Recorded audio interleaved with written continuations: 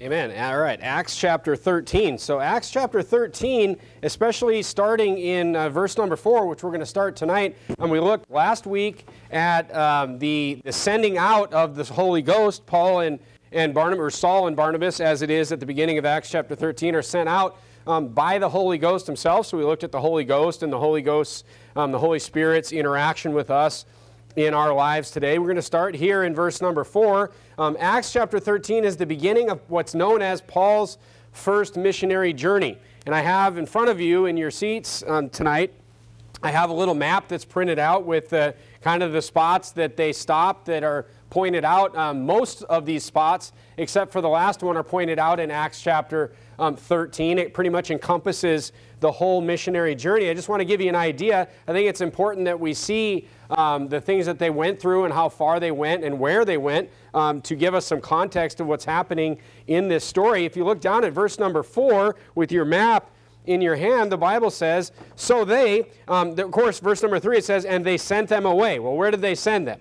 Okay, so verse number three says, and when they had fasted and prayed and laid their hands on them, they sent them away. Verse four, so they being sent forth by the Holy Ghost departed unto Seleucia. So Seleucia, Antioch is right on the uh, western coast of the uh, Mediterranean Sea, on the east side, I guess, of the Mediterranean Sea. And Seleucia is the port city that is next to Antioch. Antioch is set a little bit inside. You know, we're looking at um, what is what today would be modern day Syria. Um, Antioch is set just inside. Um, it's not a coastal city, but Seleucia is the coastal city. And it says, and from thence they sailed to Cyprus. So they go to the coastal city, and right away they get in a ship and they sail to Cyprus, which is the large, um, the large island um, in the northeastern corner of the Mediterranean Sea, just south of what we would call modern day Turkey um, today. Okay? So if you look at um, verse number 4 to verse number 5, we've basically traveled about uh, 200 miles by sea, just between um, those two verses right there. So they went from um, Seleucia and they sailed to Cyprus, and when they were at Salamis, Salamis is a city on the island, okay, on the eastern side of the island. You can see it marked on your map there. And here they start preaching, okay, and when they were at um, Salamis, they preached the word of God in the synagogues of the Jews, and they also had John to their minister. So here we have um, a couple of things that we need to point out because there's a there's a big um, there's a couple big events that happen in this first missionary journey that we need to point out. And the first one is um, in verse number five, where it says there's two things I need to point out in verse number five. First of all, it's not just Saul and Barnabas, there is John Mark with them at this point. Okay, so that's the first thing we need to kind of take note of. The second thing is they start out preaching to the Jews. So that's another thing that we need to recognize because there is a very important um, doctrine that is actually put into place or put into, that is demonstrated in this first missionary journey. So we need to first understand as we get into the preaching of Saul this evening that they started preaching in the synagogues to the Jews. Okay, they were preaching specifically to the Jews. Look at verse number six.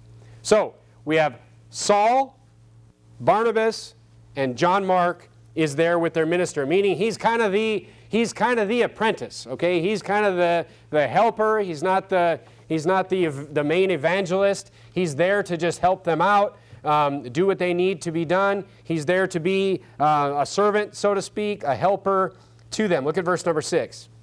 When they had gone through the isle, onto Paphos. So there we go again. Now we've traveled another, I don't know, 100 miles or so. Um, yeah, about another 100 miles. They've gone now from verse 5 to verse 6. They've traveled all the way from the east side of the island of Cyprus all the way to the west side of Cyprus. They found a certain sorcerer, a false prophet, a Jew, whose name was Bar Jesus, which was with the deputy of the country, Sergius Paulus, a prudent man who called for Barnabas and Saul and desired to hear the word of God. So I've already talked about um, Bar Jesus. I'm not going to spend a lot of time um, on him. Um, I've compared him with the, the sorcerer that we've already seen um, in the book of Acts, and we looked at you know why Paul or Saul at this point was so um, hard on Bar Jesus and not so hard on the other sorcerer because basically Bar Jesus was trying to stop somebody from getting saved. He was literally an enemy of the gospel here, which is why Paul calls him out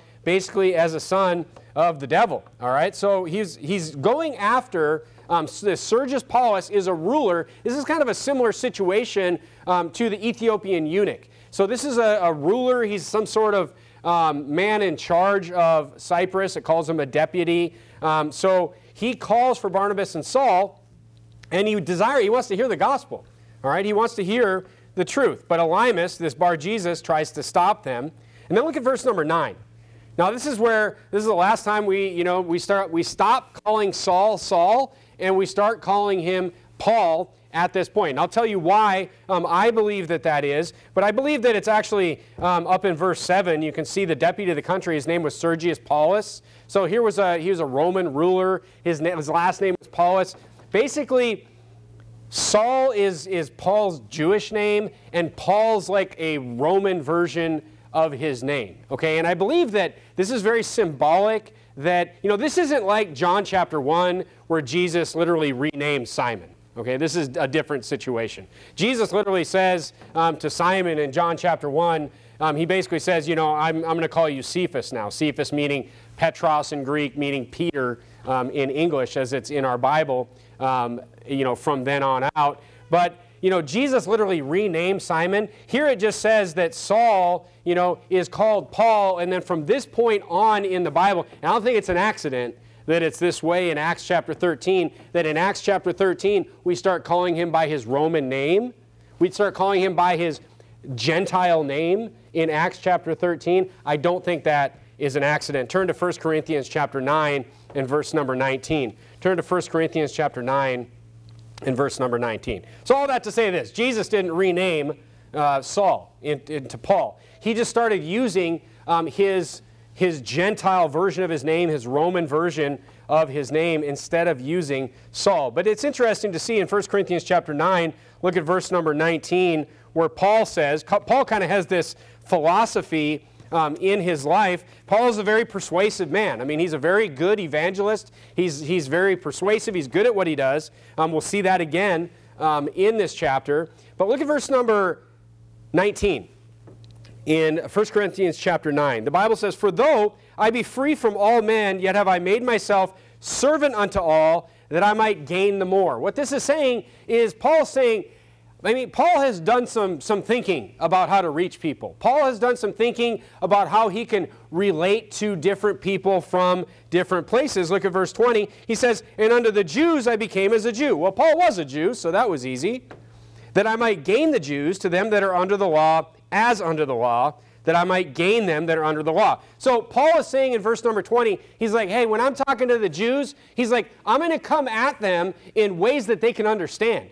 And that's what he's trying to do when we see him preach his sermon tonight. What is he doing? He's trying to come at the Jews as a Jew. He's trying to talk to the Jews as, you know, children of Abraham. That's why he starts talking about all the prophets that he's going to talk about. Not to get ahead of myself, but Paul is very good at relating to, to knowing who his audience is. Let's put it that way. Look at verse number 21. He says, To them that are without the law, these would be the, the Gentiles, as without the law being not without law to God, but under the law to Christ, that I might gain them that are without the law. So he's saying, look, I'm going to be as a Jew to the Jews, and to the Gentiles, I'm going to be to the Gentiles. And so you'll see, after Acts 13 is over, you'll understand why he's going by the name Paul. Okay? Because after Acts chapter 13, you can see that he is largely preaching to the Gentiles. Not to give away, you know, the whole sermon tonight, but there's a definite shift in Acts chapter 13. There's a definite shift that takes place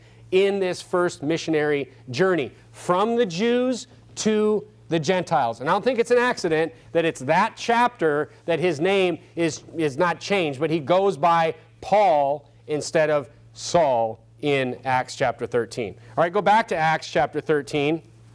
Go back to Acts chapter 13. And of course, um, where do we leave off? Verse number 10. So now he's dealing with Bar Jesus. I'm not going to spend a whole lot of time here. He calls him, Thou child of the devil. Look at verse number 11. He says, Behold, the hand of the Lord is upon thee, and thou shalt be blind. He strikes them with blindness. I, I, uh, I talked about that as well. God has used uh, blindness um, as, me, as, a, as a definite way to both help the gospel and to you know further his kingdom on earth in many different cases. I talked about that in A Tale of Two Sorcerers. Go ahead and uh, you know, refresh that sermon, not to get back into that. And immediately there fell on him a mist and a darkness, and he went about seeking someone to lead him by the hand. So he basically strikes this man with blindness, and then he talks to the deputy in verse 12. And the deputy, when he saw it was done, believed, being astonished at the doctrine of the Lord. So he gets this guy saved after he does this miraculous um, striking of blindness to um, the sorcerer. Now look at verse number 13.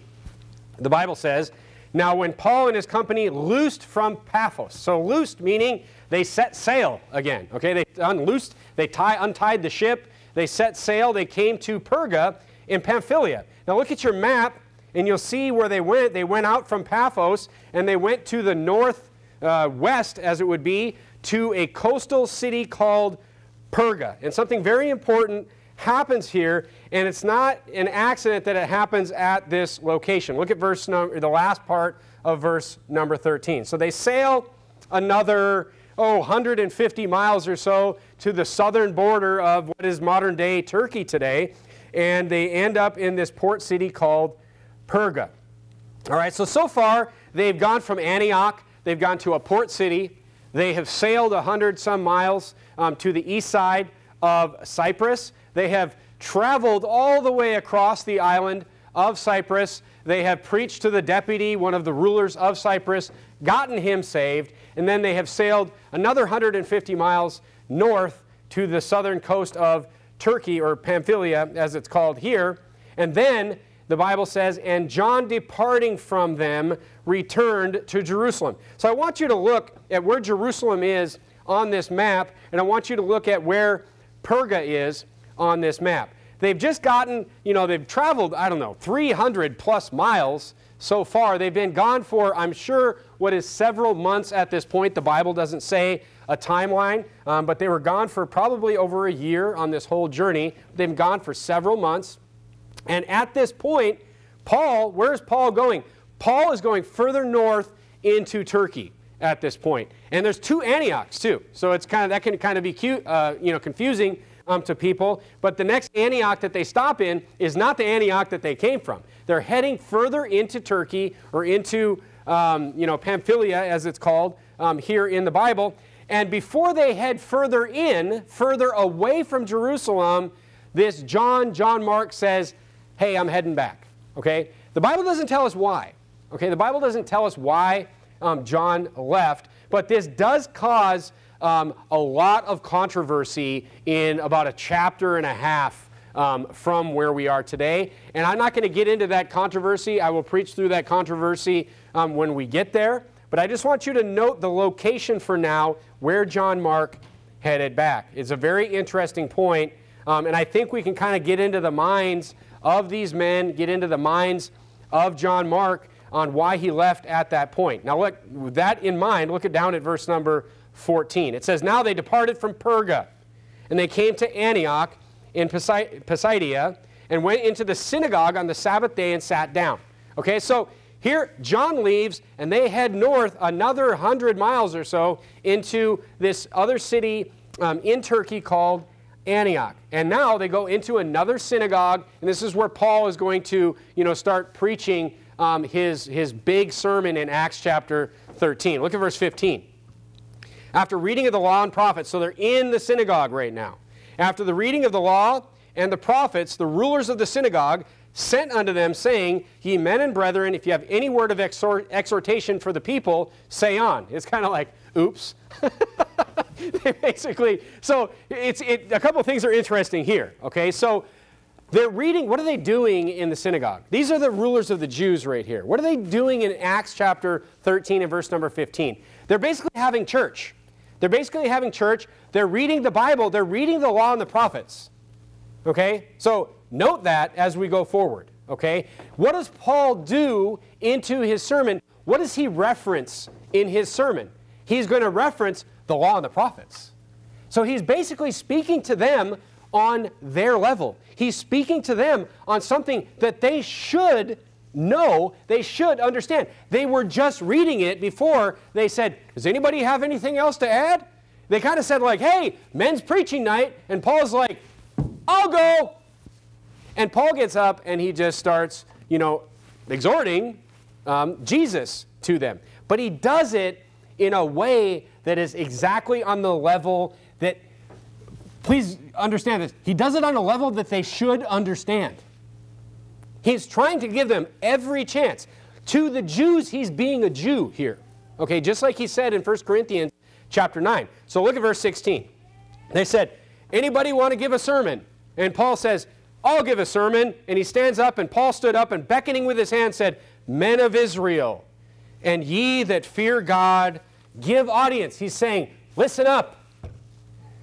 The God of this people of Israel chose our fathers and exalted. Notice how he says, our fathers. He's saying, I am a Jew too. He's relating to them. Paul is very persuasive and exalted the people when they dwelt as strangers in the land of Egypt and with an high arm brought them out of it.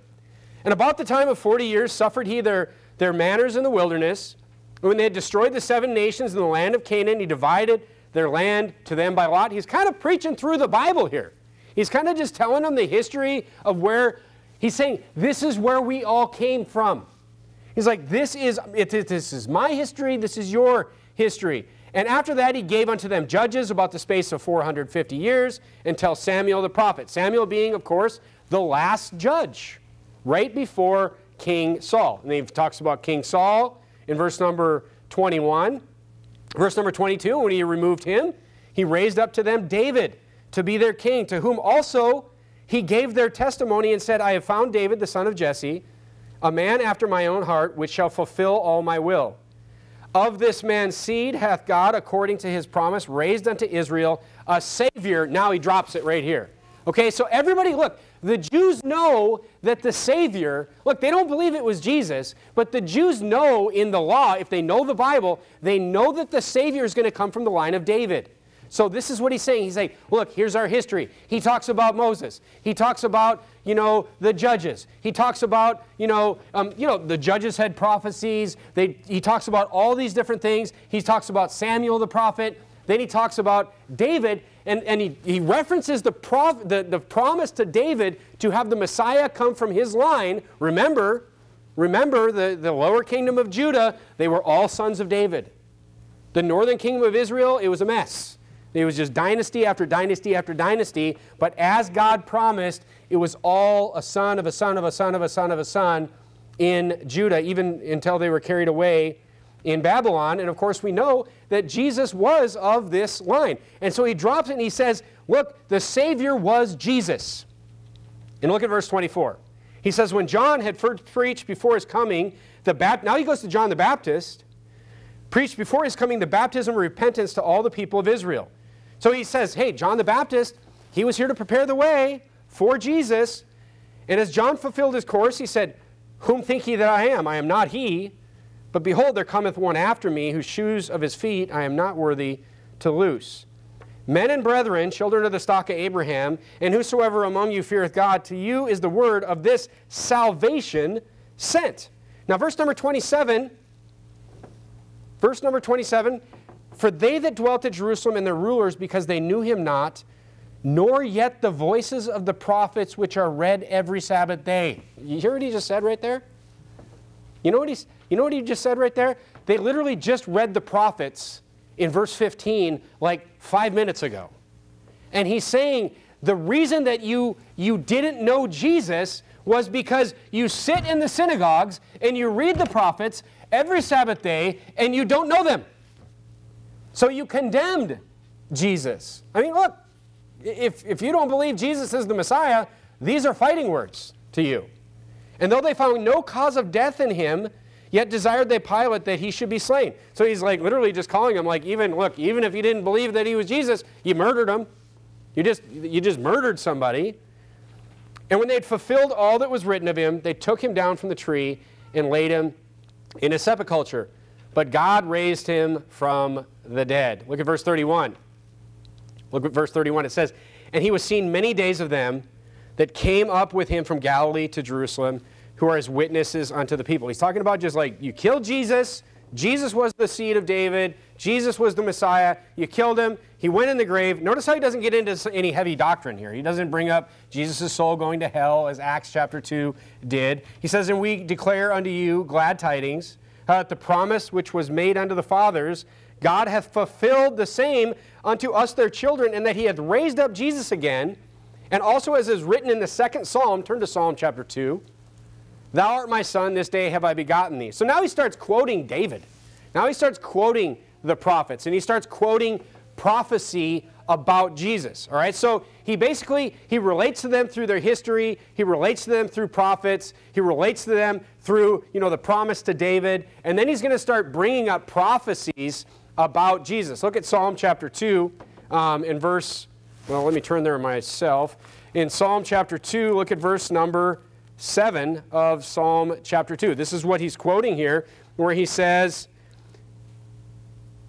Psalm chapter 2, sorry, and verse number 7, where he says, I'll declare the decree, the Lord has said unto me, Thou art my son, this day have I begotten thee. So he's, he's bringing up all these things that David said in Psalms that were messianic prophecies, is what he's doing. Look at verse number 34. And as concerning that he raised him up from the dead, now no more to return to corruption, he said on this wise, I will give you the sure mercies of David. So now he's going to talk about this idea that David, when David said, you know, talked about in the Psalms, Psalm chapter 16 and verse number 10, where before he said in another Psalm, verse 35, Thou shalt not suffer thine Holy One to see corruption. He's literally telling them David wasn't talking about him. David was talking about the Messiah. He's relating David's comment in Psalm 16:10 to the resurrection of the Messiah after three days. For, and then he explains why. He says, it couldn't have been David. Why? Look at verse 36. For David, after he served his own generation by the will of God, fell on sleep. It's, it means he died and was laid unto his fathers and saw corruption. What he's saying here is that David, David's bones, his grave is here. He's, he's rotted. Corruption means his body decayed, literally. That's what he's talking about here. And the Bible says in Psalm chapter 16, 10, it says, Thou shalt not suffer thine Holy One to see corruption, meaning David was talking about Jesus, not himself. Because God raised Jesus from the dead after three days and three nights. But he whom God raised again, again, saw no corruption. He's like, David was talking about Jesus. He's literally like speaking as David is not only, you know, King David, not only the David that God promised the seed of the Messiah that would come from, but David a prophet here. David had many prophecies. Look at verse 38. Be it known unto you, therefore, men and brethren, that through this man is preached unto you the forgiveness of sins. And by all, now, now this is interesting. And by, you got to kind of put a bracket around verse number 39 because verse number 39 um, relates to another verse um, going forward. Verse number 39 says, And by him, what? By him, here's the gospel right here. By him, all that believed are justified from all things. He just lays the gospel out there. He's like, okay, Jesus is the Messiah. It's not just, okay, Jesus is the Messiah. It's all that believe on him, all that trust in this Jesus, he's saying, are justified from all things from which ye could not be justified by the law of Moses. So what he's saying is, I mean, they're, they're, they're, they're in bad shape on so many levels here. Number one, they don't, they don't understand Moses. They don't understand the law of Moses, what it was for, because they think they're, they're justified by the law. But he's saying you can't be justified by the law of Moses. The law can't save you, he says. It never could, by the way. Turn to Romans chapter 8. Turn to Romans chapter 8. He's basically saying Jesus did what the law could not do. Look at Romans chapter 8 and verse number 30. So not only does he say that it was Jesus, you killed him, this is who David was talking about. It had to have been him. This, I mean, another importance of the resurrection right there fulfills that prophecy that David um, prophesied in Psalm chapter 16. Look at verse number uh, 3 of Romans chapter 8. Romans chapter 8, look at verse number 3. The Bible says, For what the law could not do, in that it was weak through the flesh. What does that mean? What does that mean? The, the law can't save you. Why? Because it's, it's, what's the weak point of the law? Think about this for a second. There's two ways to heaven. The first way is never sin. Then you're not, look, then you're not, you're not guilty. The first way is never, never sin. Except no man can do that. Why? Because we're weak through the flesh. That's why. So that's why we're out soul winning, you know, and, and I'll talk about this in detail on Sunday night. We're out soul winning. It's really easy to explain to somebody that if I go out and I steal a car in Fresno, if I steal somebody's car, and you know, somebody that just believes in works-based salvation, they believe if I'm pretty good, I'm going to go to heaven. But then you explain to somebody if I steal somebody's car and I ruin their car and I get arrested and I get taken in front of a judge in Fresno and that judge says, Pastor Jared, did you steal and ruin Bob's car? And I said, Well, Judge, I sure did, but I'm really nice. Everybody laughs when I say that. I said, Do you think he's going to let me go? And they go, Pfft. People laugh because it's silly. Well, Judge, yeah, I burned the guy's house down because I was mad at him. I ruined everything. Oh, I murdered somebody. And oh, but I helped a little old lady across the street yesterday. It, everyone was like, Pfft. Everyone knows that that's silly. That's the problem with the law right there. Is that our, our guilt, our good deeds can't cover our guilt. I don't care how many good deeds you have. I don't care how great you are, it can't cover up what you've already done. Why? Because the flesh is weak. That's why. So the law is weak through the flesh. And then it says, God, what are we going to do about this? God sent his own son. God sending his own son in the likeness of sinful flesh, and for sin, condemn sin in the flesh. So look, all that, all that to say this Jesus did what the law could not do. And this, look, it was always the plan. It was always the plan. The Messiah was, I mean, everybody knew the Messiah was coming at some point. Paul is just saying, hey, it was Jesus, and you killed him. Look at verse, um, verse number 4 of Romans 8 that the righteousness of the law might be fulfilled in us who walk not after the flesh, but after the Spirit. Just saying, like, hey, we should walk in the Spirit. Now that we're saved through the Son, we should walk in the Spirit. That's what the law is for. The law is a, is a schoolmaster to teach the unsaved that they need a Savior. And then the law is there for us to clean up our act after we're saved. It's not there to save us, it could never save us. Okay? Go back to Acts chapter 13. Acts chapter 13, and look at verse number 40.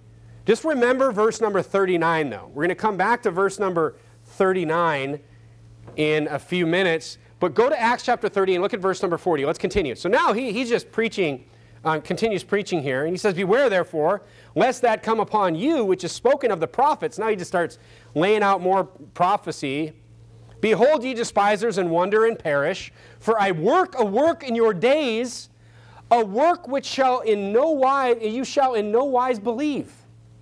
He's quoting Habakkuk 1:5 here. Though a man should declare it unto you.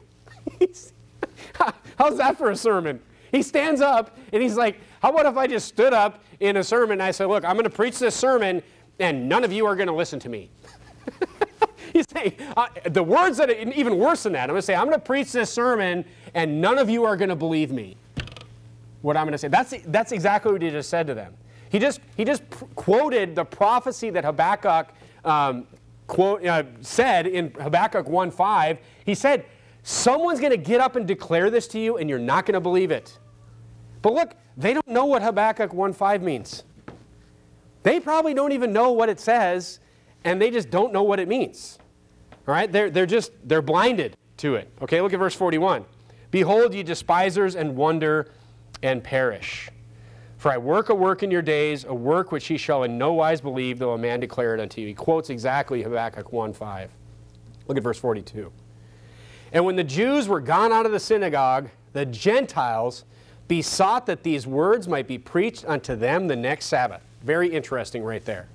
So this created quite a stir, and the Gentiles that weren't in the synagogue, they heard about this and they said, We want to hear this too. They said they heard what Paul did in the synagogue, to the, said to the Jews, and they're like, We want to know what this is about. And they said, Come back next Sabbath day and tell us too. Look at verse 43.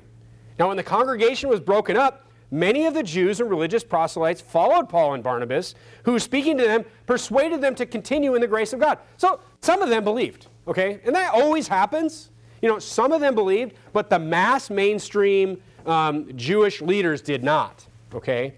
And look at verse 44. And the next Sabbath day came almost the whole city together to hear the word of God. It's Gentile day now.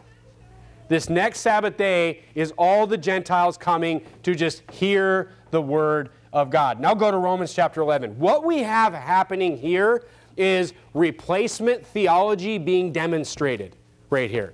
Is what we call replacement theology, meaning, you know, that, you know, the unbelieving Jews were grafted out and the Gentiles were grafted in.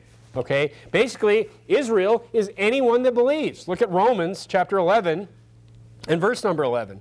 But it's, it's really cool because in Acts chapter 13, you see it you see it historically happening right in front of our eyes here in Acts chapter 13 when Paul is preaching um, in Antioch. Look at verse number 11 of Romans chapter 11.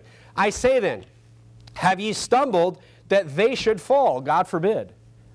But rather, so he's talking about, you know, the Jews. He's like, why did they stumble? He's like, should have they stumbled that they should fall? God forbid. But rather, through their fall, salvation is come unto the Gentiles, for to provoke them to jealousy. You have your place, keep your finger in Acts chapter 13.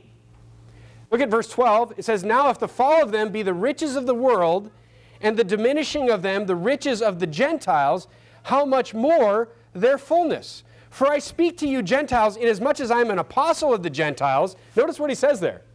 He's an apostle of the Gentiles. I magnify in my office, if by any means I may provoke to emulation them which are my flesh, and might save some of them. Now go back to Acts chapter 13 and look at verse number 42.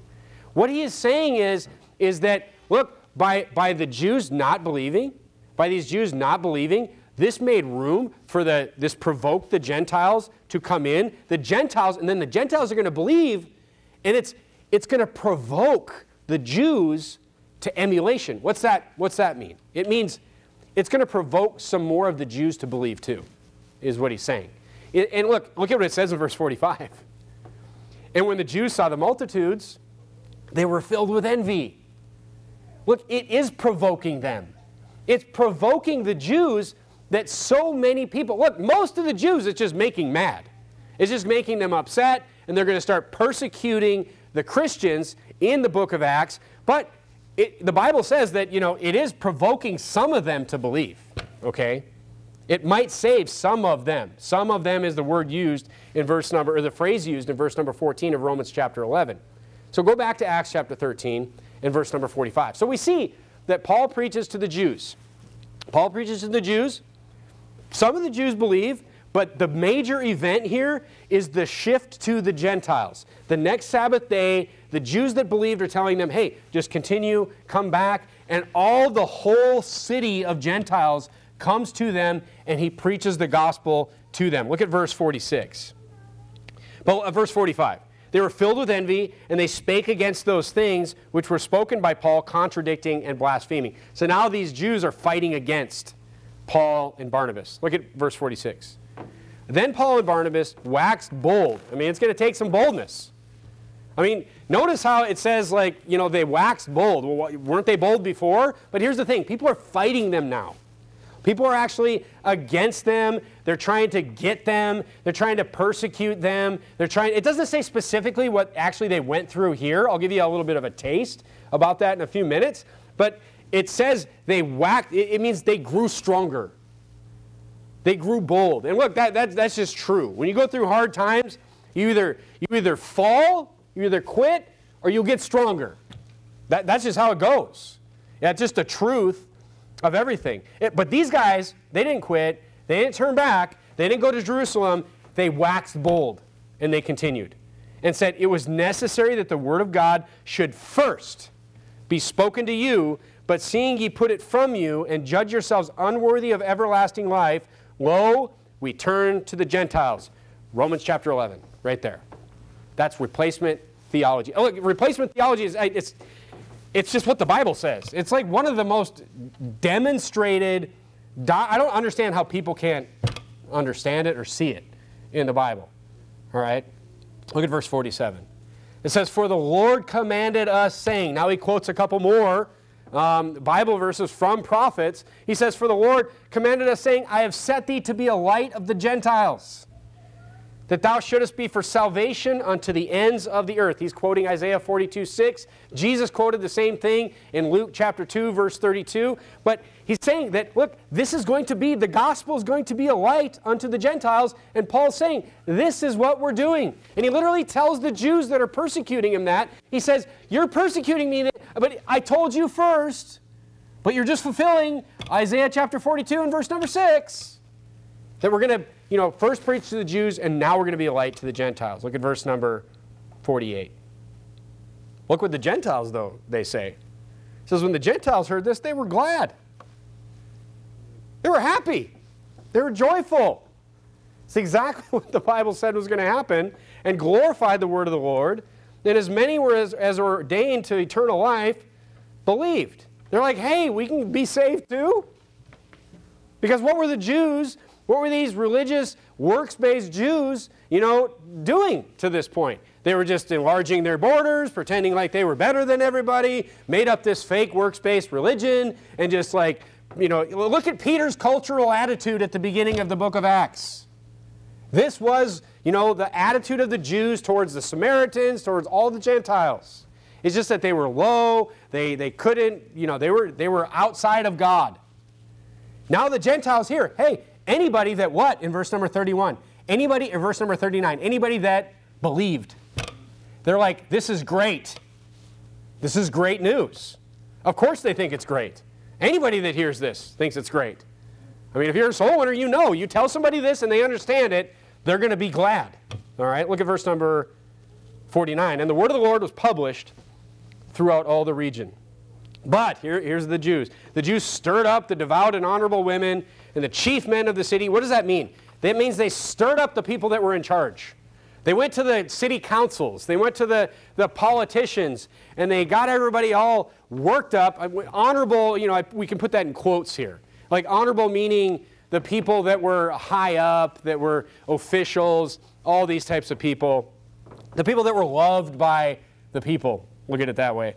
And the chief men of the city, and raised persecution against Paul and Barnabas and expelled them out of their coasts. But they shook off the dust of their feet, grab your map, and came into Iconium. So Antioch was a tough town. All right, Antioch, you know, basically we see, you know, the replacement of the Jews with the Gentiles grafted in. We see this happening in history. I mean, this happen. I mean, it's not the only time it happens. It's, I mean, it's happening um, for thousands of years now. But we see it demonstrated here. And then they move on they moved to back towards the east to Iconium. They shook the dust off their feet and came to Iconium. And the disciples were filled with joy and with the Holy Ghost. So, all that to say this. Look at, um, there's one more thing I wanted to point out in Acts chapter 13, and I was going to reference, I was going to reference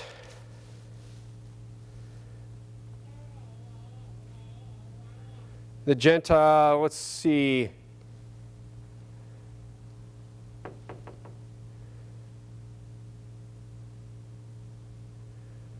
So he, he look at verse number 39.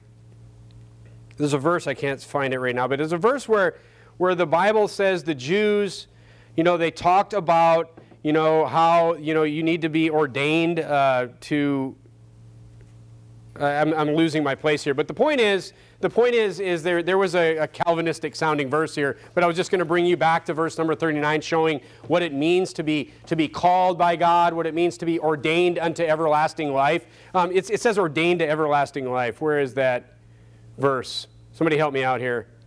48. Verse 48. And when the Gentiles heard this, they were glad and glorified the word of the Lord, as many as were ordained to eternal life believe. So, you know, that's another one that people could say, oh, you have to be ordained, you know, to eternal life. But it literally says, like, you know, that, you know, before they believed, they had to be ordained to eternal life. No, what do you have to do to be ordained to eternal life? Verse 39, just believe. That's it. It's believe. All right, so it's just a, a silly little thing there. Okay, so first of all, what I want to point out here is looking at the map.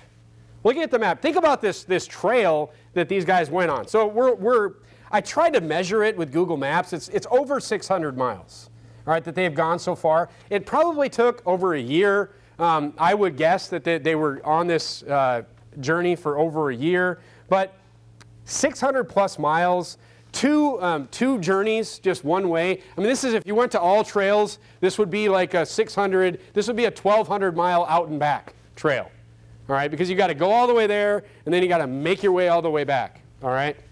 So you know, they got to go back to Perga. They got to go back to these port cities to get back to where they came from. All right. So this was a long journey. But here's the interesting thing: as you look at this map, just this is just a side note.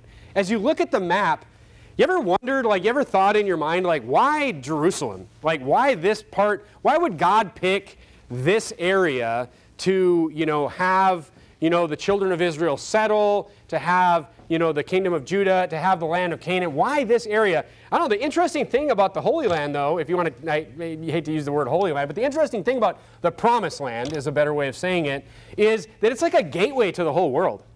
If you, if you just look at this map, it's a gateway. I mean, if you look at if you look at Syria, where Antioch starts out, Syria is like a gateway to Asia. I mean, if you just head to the east, you're in all of Asia. You're out into China, you're into India, you're into all these different places. If you look at Turkey, where they were at, like modern day Turkey, Turkey goes up into the Balkans, it goes into Russia. You look at across, um, if you, they keep going west into Greece, you look at Greece, which you can see on your map, and then you look at Italy. Um, that's a gateway right into Europe, all those places. This area this area. And then you look at south. Where did everybody run to south all the time? Everybody was, you know, scared and, in Jeremiah and everybody, you know, even Joseph. Joseph and Mary to get, get away from Herod. Where did they run? They ran south to Egypt. So there's a gateway to Africa, too. It's interesting about this part of the world. It's just like a, it's a gateway to uh, almost the whole world. And I believe that that's not an accident on why God did that. But the point is this if you look at what happened in this missionary journey, you look at where they started going, here's what I'm trying to say. Look at Isaiah, go to turn to Isaiah chapter 42. Christianity. We're trying to get Christianity to the world here. Paul was literally, I mean, look, he was literally sent out, Paul and Barnabas were literally sent out by the Holy Ghost. They were literally sent out by God Himself. Okay? Christianity, look at verse number 7 of Isaiah chapter 52. Let's read this. It says, the Bible says in verse number 7 of Isaiah 52 How beautiful upon the mountains are the feet of him that bringeth good tidings, that publisheth peace, that bringeth good tidings of good, that publisheth what? Publisheth salvation, that saith unto Zion, Thy God reigneth. In Romans 10 15, it said, And how shall they preach except they be sent? As it is written, How beautiful are the feet of them that preach the gospel of peace and bring glad tidings of good things. Notice how it says in both Isaiah 52 and Romans chapter 15 or Romans chapter 10, it says, How beautiful are the feet. The point I'm trying to get at is, is it's really interesting that when you look at how the gospel is spread, you look at how the gospel is spread in the book of Acts, and you look at how the gospel is spread today, Christianity is, it was, it is, and it always will be a ground game it will be a ground game. I don't care. You can put all the airplanes, you can put all the trains, you can put all the automobiles that you want into it, but at the end of the day, it is always going to take a man or a woman walking around with a Bible and talking to people. Christianity, as demonstrated here, is always going to be a boots on the ground situation. And look, that, I mean, that's timeless. It is always going to be that way. It says it in Isaiah chapter 52. How beautiful are the feet of them that bring salvation. It talks about preachers. You know, look, even, even mission trips and all these things, it's going to come down. You know, we go off to the Philippines, we go off to different countries. It's going to take people walking around with a Bible. It's always going to come down to that. You know, and we take, we take for granted, you know, we read one chapter in the Bible and we take for granted, that's why I passed out the maps, we take for granted the effort that went into this chapter, this missionary journey in the Bible, you know, is over a year, it was over 600 miles one way. Turn to 2 Corinthians chapter 11. Turn to 2 Corinthians chapter 11. And you know what, quite frankly, they don't give you a lot of detail on what these men went through as far as, you know, what they dealt with as far as the Jews persecuting them and kicking them out of these places. They don't really give you a lot of detail in Acts chapter 13 on when, um, on what they went through. But Paul kind of tells us. Paul kind of discusses a little bit in 2 Corinthians chapter 11, you know, what, you know, he, some of the things that he went through. I mean, granted, this was the first uh, missionary journey, but look at verse uh, number 23 of 2 Corinthians chapter 11. He gives us an idea of what this traveling was all about. And look what he says. He says, Are they ministers of Christ? I speak as a fool. He says, I am more. In labors more abundant, in stripes above measure, in prisons more frequent, in deaths oft, meaning threatenings of death, meaning his life is in danger. Of the Jews, five times received I forty stripes, save one. Thrice I was beaten with rods, once I was stoned, thrice I suffered shipwreck. A night and day have I been in the deep. In journeyings often, we can see that. In perils of waters, we can see that here. In perils of robbers, people are trying to steal from him. They're trying to rob them. In perils by my own countrymen. He's talking about the Jews trying to kill him and, and beat him. In perils by the heathen, he's talking about the Gentiles trying to kill him and beat him. In perils in the city. But then when we escape the city, we're fine. No, in perils in the wilderness too. In perils in the sea, in perils amongst false brethren, in weariness and painfulness in watching. They're sleeping with one eye open all the time. When they're out camping, they're always like, Did someone follow us and is trying to kill us now? In hunger and thirst, in fastings often, in cold and nakedness.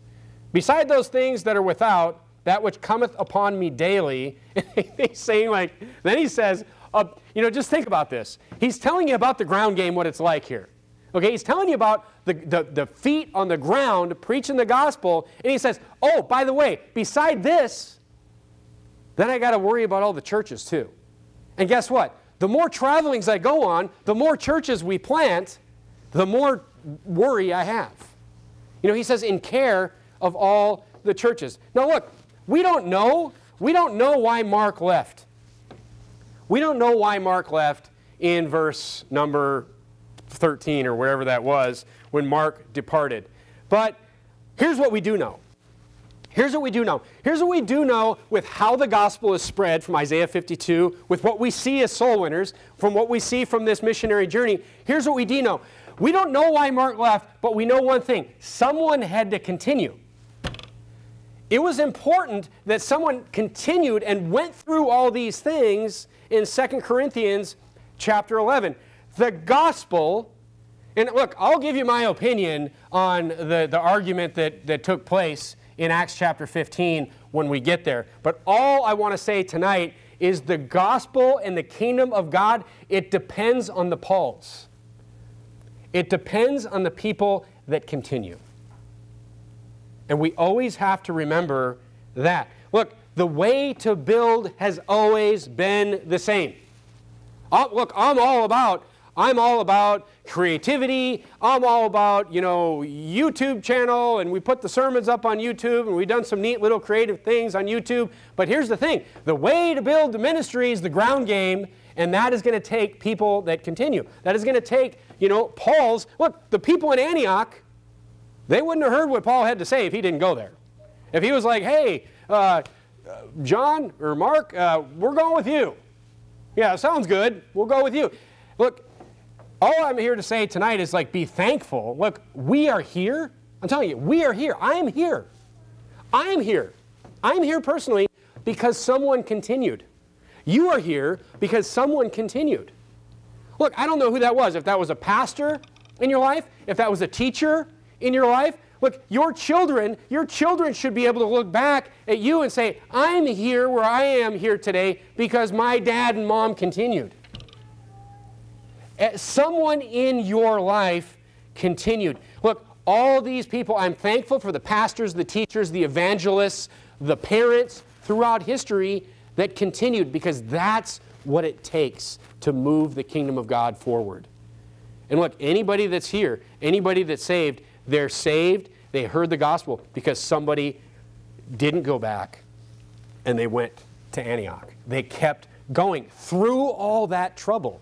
Through all that trouble. And look, here's the thing. I'm thankful, I'm thankful that Paul did continue because not everybody will. And look, I'll, I'll even say not everybody can. Maybe, maybe we don't, like I said, we don't know why John Mark left, but maybe not everybody can take it. Maybe not everybody could go through what Paul and Barnabas had to go through. Maybe some people just aren't willing to go through that. I don't know why, but look at your map right now. Look at your map. And here's what I want you to take away tonight. If you take away nothing else tonight, there's a reason that John Mark left at that point.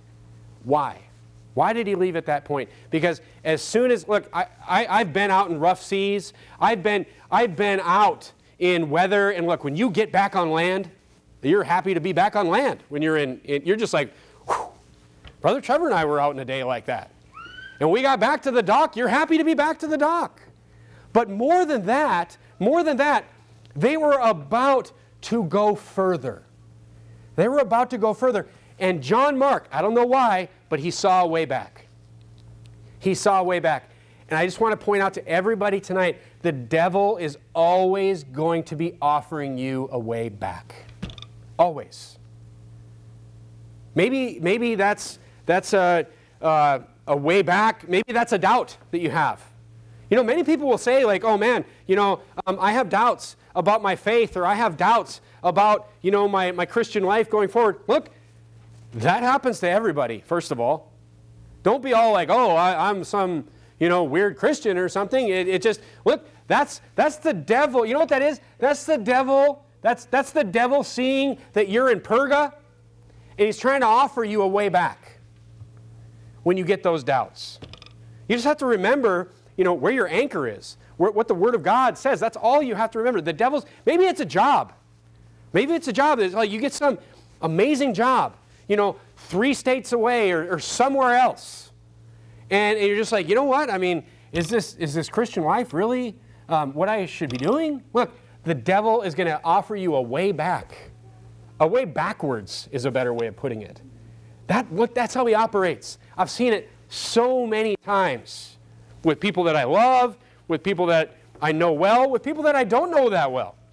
But I know I've seen the pattern, I've seen the trend. I see the same trend with John Mark. I don't know what the reason was, but he had a way back at that point. He was on land, it was close, he didn't want to go further. The devil offered him a way back. And look, he went. Be careful for, you know, having that way back put in front of you, is all I want to say this evening. Because look, remember where you came from. Because you are only here and your kids are only here because somebody continued. Somebody continued and planted that church in Sacramento. Somebody continued and planted that church, you know, in Fresno. Somebody continued and planted that church in Arizona. Somebody continued 200 years ago and planted a church somewhere in the United States. Somebody planted a church that planted a church that planted a church that planted a church that sent out men of God, and those men of God continued. And they continued with their families and their children continued. That's why we're here. So the way back, the that's how the devil can stop, stop this chain from going is by offering you a way back constantly. And you know what? Some people will take it, unfortunately. But just don't forget this. We are only here because people continue. Just like Paul continued, and you know, John Mark was the one that went back. All right? So just don't abandon. Um, don't uh, just don't forget that the devil's going to constantly want you to abandon continuing um, forward in your Christian life.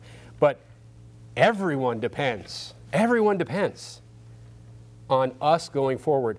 if Paul and Barnabas didn't go forward, those people in Antioch, those people in Iconium, those people in Lystra, they wouldn't have heard anything. The, and think about it, the whole city. And then these churches get planted, and Paul writes these great letters in the Bible. Think about this. That, that we study and we go through, you know, all these epistles that Paul, he wrote to these churches that he planted because he continued. You're like, man, he's adding a lot of stress to himself. Yes, but I'm thankful that he continued, and we should do the same. Let's bow our heads and have a word of prayer.